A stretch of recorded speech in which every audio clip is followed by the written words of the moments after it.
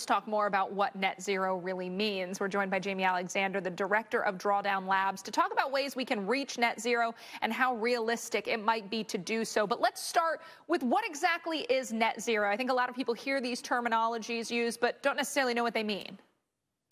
Right. Um, well, I, I think it's really critical that we all understand, you know, what this jargon means because we're all in this together. We all have a role to play, and we should have a shared understanding of what we need to do to address the climate crisis. Um, so let's start with this. Um, we know what's causing climate change, and that's this ever accelerating buildup of greenhouse gases in our atmosphere that act as this thick blanket that we have now around the planet, and that's throwing all of our systems out of balance. So we need to stop the sources of this greenhouse gas pollution because every minute that it continues spilling into the atmosphere worsens and accelerates climate change. However, there are things that absorb carbon from the atmosphere. Nature, in fact, absorbs about 40% of all of the emissions that, that we put into the atmosphere every year. And that's trees and oceans and peat bogs and mangroves. Um, and it's critical that we protect and restore these ecosystems so they continue to do that.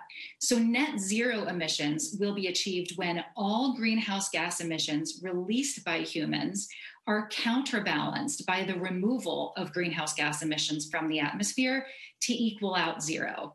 Um, so there are several problems with this logic. One of them is that you know these net zero targets are pretty far in the future. Um, by and large, you know 2050, 2040, um, India today committing to net zero by 2070 but we're already experiencing dramatic climate impacts today. Um, you know wildfires and floods and extreme weather events. Um, and that just shows the urgency of minimizing temperature increase as much as possible and as quickly as possible and not something that can wait until 2050 so jamie a lot of companies say they're going to net zero by say planting trees and trees are great don't get me wrong but they can also be a little bit less permanent than i think we want them to be. You know a storm can come through a tornado can come through and tear out all the trees and you're starting from, from zero again.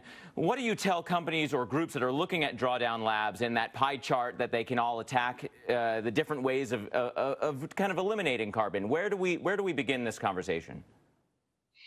The most important thing to remember here um, is that the sooner emissions peak, and the lower they are at that point, the better our outcomes are in terms of destructive climate impacts. So we need to focus on absolute reductions.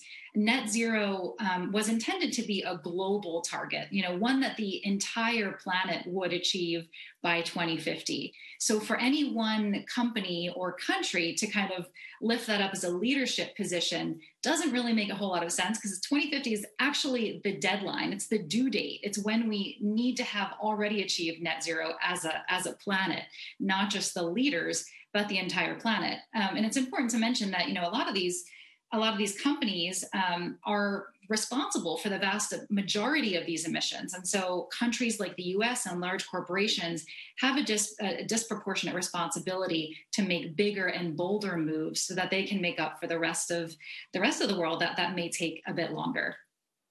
Well, Jamie Alexander, thank you so much. We'd love to keep the conversation going. Um, the director of Drawdown Labs, thank you so much for your time. Uh, something that we're watching. Uh, there's even things you can do and, and in your own home.